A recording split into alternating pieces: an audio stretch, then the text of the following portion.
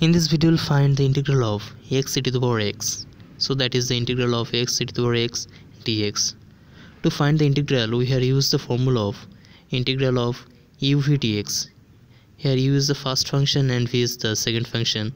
And the formula is given by first function into integral of second function minus total integral of derivative of first function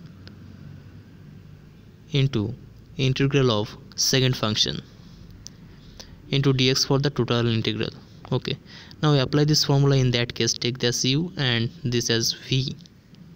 So that's equal to first of all first function into integral of second function minus total integral of derivative of first function that is x into integral of second function into dx now for this we know that integral of e to the power mx is given by m is constant e to the power mx by m. Now for m equal to 1 that is e to the power x equal to e to the power 1 into x the integral is e to the power 1 into x by 1 that is equal to e to the power x. Thus the integral of e to the power x is e to the power x plus a constant.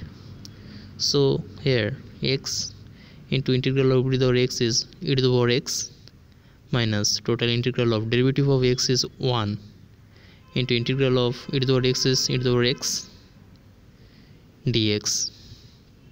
That's equal to x e to the power x minus integral of e to the power x dx. There would be constant c. So c. Okay. So that is x to the power x minus integral of e to the power x is e to the power x plus new constant there c double prime. Okay. Thus we get the integral of x e to the power x dx. Okay